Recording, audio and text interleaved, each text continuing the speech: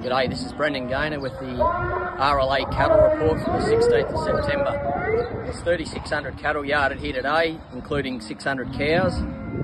Uh, the cow market held up pretty well firm. Uh, might have been a shade shade better in spots, but uh, pretty well firm. The best of the heavy cows making 330 up to 350. Um, middle runner cows 310 to 330, and the lighter end making sort of two 260 up to three dollars. Uh, the heavy heavy export job was just a shade cheaper, five or eight cheaper. Uh, heavy steers 360 to 380 a kilo. Uh, feeders were a bit cheaper as well, five or eight cheaper, 370 to four dollars. Uh, lighter feeders 380 to 410. Uh, heavy heifers were also a bit cheaper. They were making 320 to 340. Feeder heifers 300 to 350. Uh, we had a good run of uh, trade steers and heifers uh, that were really good shapy cattle.